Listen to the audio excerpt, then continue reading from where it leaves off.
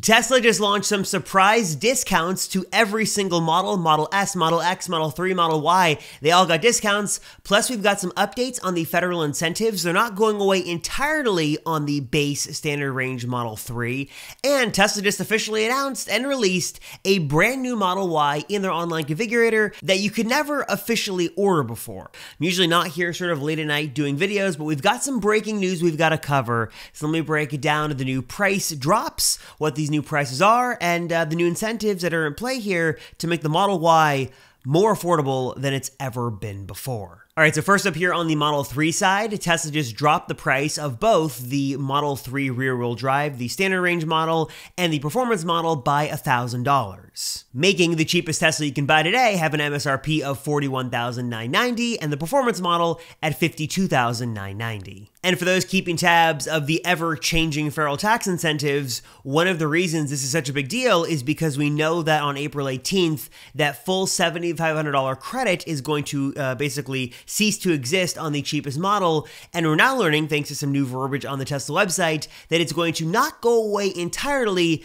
but decrease from 7,500, basically going in half to 3,750. Again, mainly because of the China made LFP battery in that car, which is not going to let it qualify for the full amount. So presumably Tesla probably dropped that price to sort of combat the price changes that are going to happen because of the federal incentives and how they're going to shift. So basically, long story short, what you need to know is that you've got to take delivery of the standard range Model Y before April 18th if you want to uh, basically take advantage of that full $7,500. If you take delivery after the 18th and you qualify, you'll get 3,750 as the maximum. So you're missing out on a good chunk of change there on that cheapest Model 3. Still a good and you know competitively priced car, uh, but is not going to be the same if you take delivery again uh, April 18th or after. Moving on to the Model S and Model X, these cars got a price decrease not too long ago, and now we've got another price decrease on these cars that brings the prices down about another 5%. That means the Model S is going to start at 84,990, down from about 90,000. Model S Plaid 104,990. Model X is going to start at 94,990, and of course the Model X Plaid is going to be 104,990. So price drops here across the board with the Model S, Model X, about $5,000 on each model. Then moving on to the Model Y, a couple of cool things here. One is that Tesla dropped the price of all configurations, which is great. So discounts now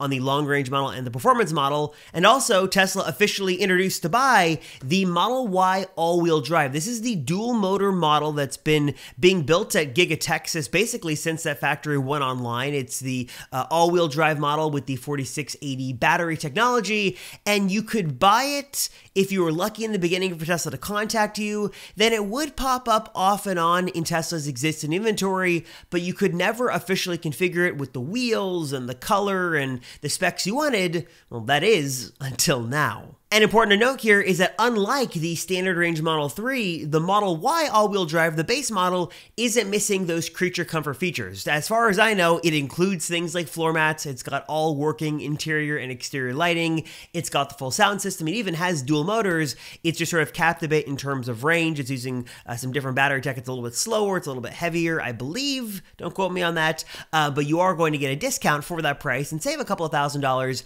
if you go with that standard range model, which you're giving up a little bit of range, but I think for most people, still going to be a really solid offering. So pricing for the Model Y is going to look like this. The standard range Model Y all-wheel drive is going to be 49,990. Model Y long range, 52,990, down uh, about $2,000 there. And also down $2,000 is the Model Y Performance, now at $56,990. What's also very important here to know is that all models of the Model Y, including this new base model all-wheel drive model, are going to qualify for the full $7,500 tax credit under the current guidelines that aren't subject to change on the 18th, like what's going to happen with the rear-wheel drive standard range Model 3. Taken into account, that means you can actually buy a base standard range Model Y, a really great car, for about $42,500 with that federal tax incentive taken into account.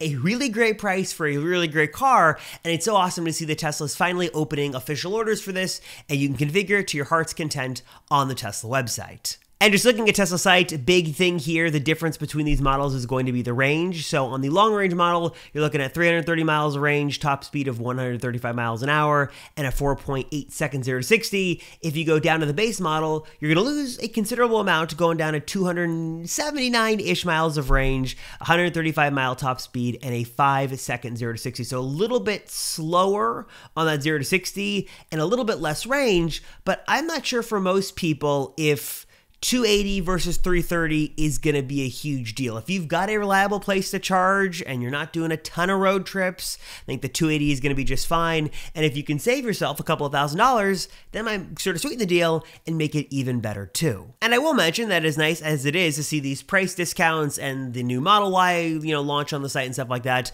is still very interesting that here in North America, you still cannot officially order the long range Model 3. Remember, this car was supposedly so popular popular that Tesla had to stop taking orders for it, at least custom orders on its website. You can still find it in existing inventory, but as was the case with this base Model Y, it can be very in and very out on a moment's notice. So you really got to get lucky on when you can find it, and uh, sometimes it's there and sometimes it's not. So you officially, oddly enough, cannot uh, you know configure and officially go through the process online of ordering a new uh, long range Model 3 um, as of right now still. But every other Tesla, including now this base Model Y, can be configured to your heart's content on the Tesla website. So really cool to see uh, this new breaking news.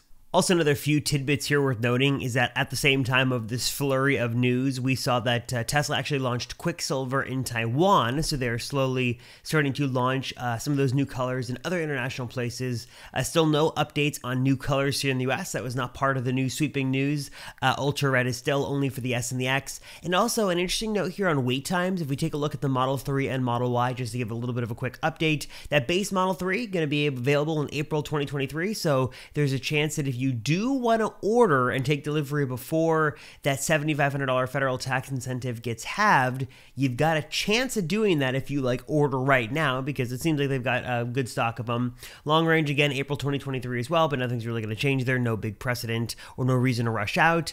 And then on the Model Y, interestingly enough, let's take a look at what the figures are for the all wheel drive model. Looks like April to May of 2023. So obviously, uh, we've heard before that Giga Texas has been making these since that factory again went online. Uh, so you shouldn't have to wait too long to get those cars, depending on where you are in the world. And long range is going to be probably the most popular Tesla model right now. You've got a window of April through June, so June at the latest, according to Tesla, and the Model Y Performance April as well. So most cars have a good chance of getting to you within the next 30 to 45 days. Uh, only exceptions will be the more popular uh, long range Model Y, and then the new base Model Y as well, as Tesla expects probably a good uptick in sales in that. Going to be about 30 to 60 days, depending on your location, before you can take delivery of that. So that was it, guys. Just wanted to sort of break in here with some breaking news. Tesla doesn't do price drops all that much, and they don't often introduce new models on their sites. I thought I'd run through this. So that's what you need to know. Uh, if you have questions on the price, discounts, federal EV incentives, stuff like that, let me know in the comments down below. We can discuss. Uh, just a little quick video to go over that. Hope this was informative. If this did help you, leave a thumbs up. I'd appreciate it. As always, I appreciate your support. Thanks so much. I'm Robert Rosenfeld, and I'll see you all in the next one.